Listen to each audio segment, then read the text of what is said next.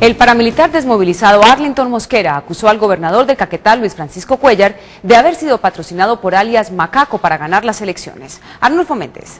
María Cristina, las acusaciones también se extendieron al antecesor inmediato del gobernador Cuellar, quien según Mosquera también tuvo apoyo paramilitar. El desmovilizado paramilitar Harlington Mosquera denunció que el actual gobernador de Caquetá, Luis Francisco Cuellar Carvajal, llegó a su cargo al parecer con la ayuda de las autodefensas y por orden de Carlos Mario Jiménez, alias Macaco. En ese tiempo me dice Carlos Mario Jiménez que, que Carlos Fernando ya tenía conocimiento de eso Paquita pues para colaborar a esa gente y que me iban a correr en la campaña.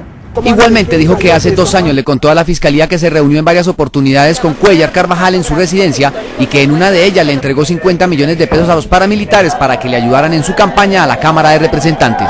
Tengo el pleno conocimiento que él me entrega a mí 50 millones de pesos, que no estoy mintiendo.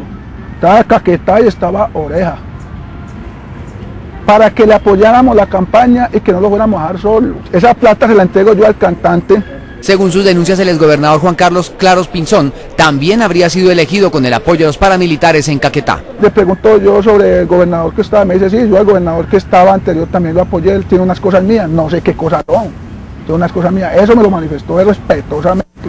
Macaco.